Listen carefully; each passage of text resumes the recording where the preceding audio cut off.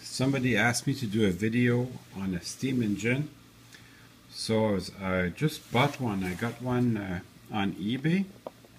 And the reason why I never made a video on a steam engine is because most of the steam engines I got are already great.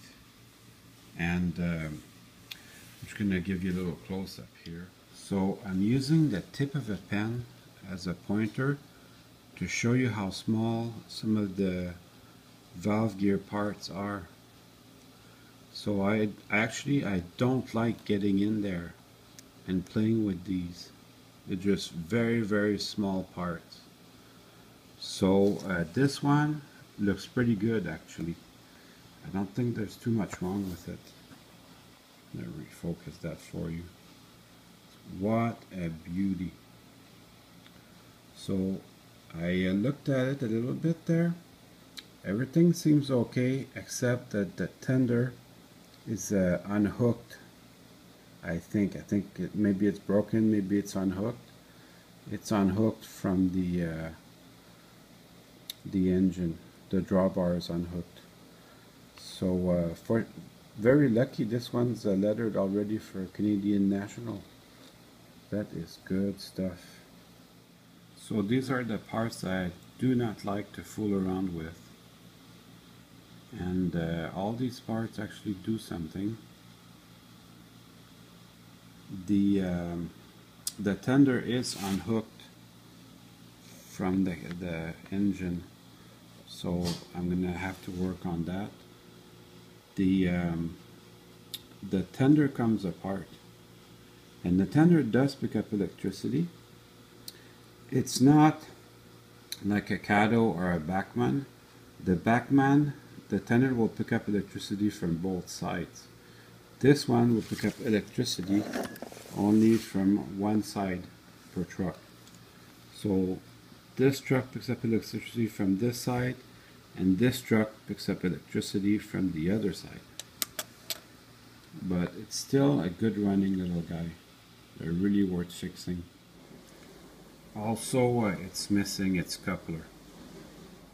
So all I'm going to do is I'm going to remove uh, these two screws. And there's also little screws here in the front of the tender that I'll have to remove. But I'll start by removing the trucks. And also, like I said, one side picks up one side of the track and the other truck picks up the other side of the track. So you want to keep in mind um, which side is picking up what. So all I'm going to do is I'm just going to put the two trucks uh, in the order I took them out right next to the tender. So I just removed the two little screws up front and the bottom of the tender becomes loose almost immediately just like a regular freight car.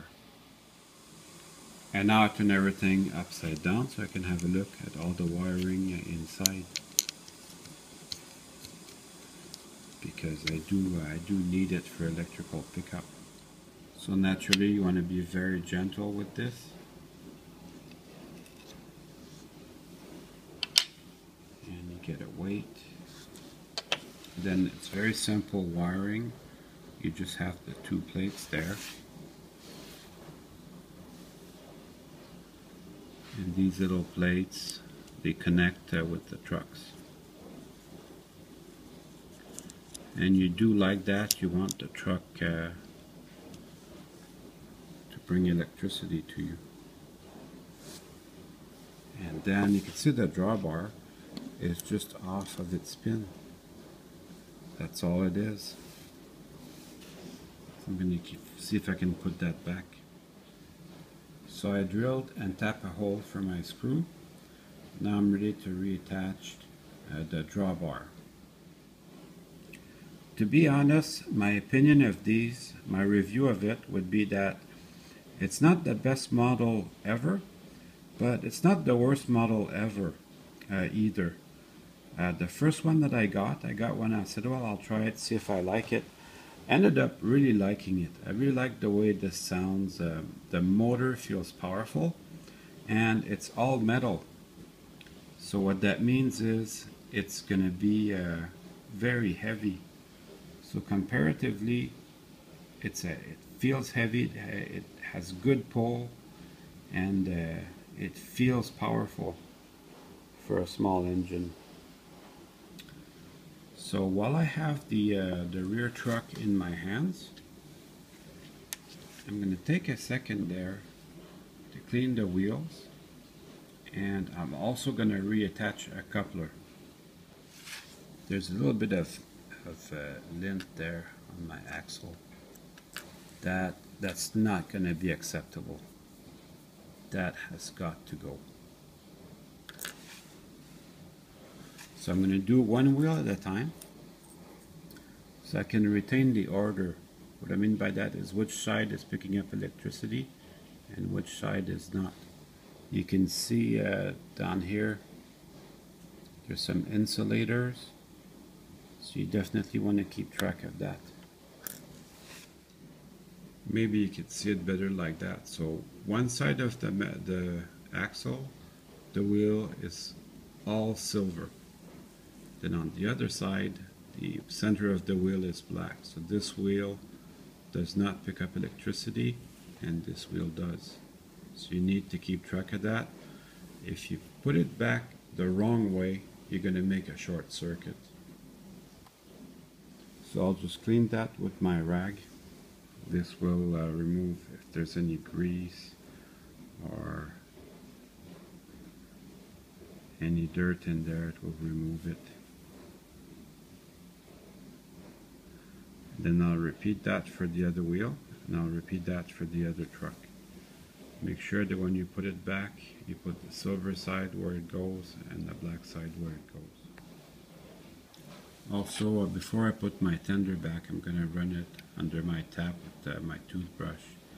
Get rid of all this extra lint. Now, before I put the rear truck back on the locomotive, I'm going to put my coupler back in there. I was lucky. In the box was the other half of the coupler pocket. So I have choices I could put um, Rapido like it came with or I could put um, micro trains. I happen to have with me today some uh, Bachmann uh, E-Z Mate couplers, so I think I'm going to use that. As you put it back, don't forget the contact strip now it's really starting to shape up. I'm just going to put on the weight.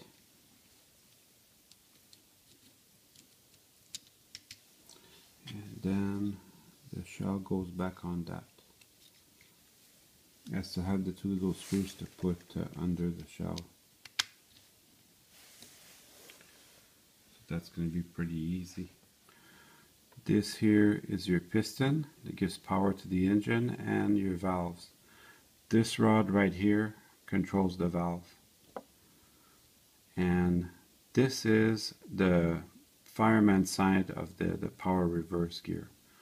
There's a cylinder. This is that air tank here that will hold air from the compressor. There's your compressor. This will produce uh, pressured air for your brakes. Now let's look at the other side. So here you have the firebox. This is the power reverse here. And there's another uh, air tank on this side. Now the air tanks, the compressors, they can all be on different sides depending on what the particular railroad ordered. So that's fun to look around, see the different models, and see where each uh, railroad had ordered all these tanks and compressors to be. And now it's time to run some trains. All these 462s that I have, they all run very, very well. I'm very pleased with them. I hope you enjoyed the video.